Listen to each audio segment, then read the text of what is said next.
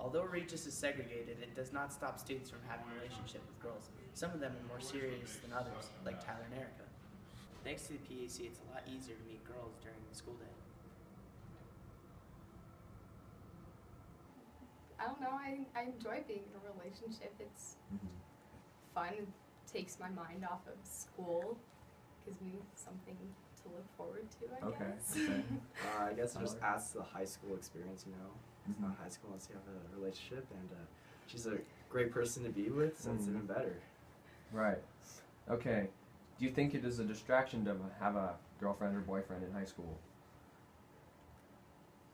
um, not necessarily. I mean, it does have its distractions, but in the end, it helps.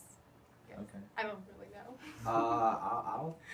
I think it's like sometimes like finals and all like can kind of be distracting, but like just like day to day basis, no. Right. Okay. What's your favorite thing to do with your girlfriend or boyfriend? Dairy Queen. Go to Dairy, Dairy Queen Queen. Tuesday nights. Okay. Yeah, because there's not really start on Wednesdays. I, I think seeing each other like at lunch and Before before school, school. Mhm. just like taking advantage of the small times that we can see each other. Are you in a relationship right now? No, but I recently was. And why aren't you in that relationship anymore? Um, it was really destructive to my grades. Like it, my grades went down a lot.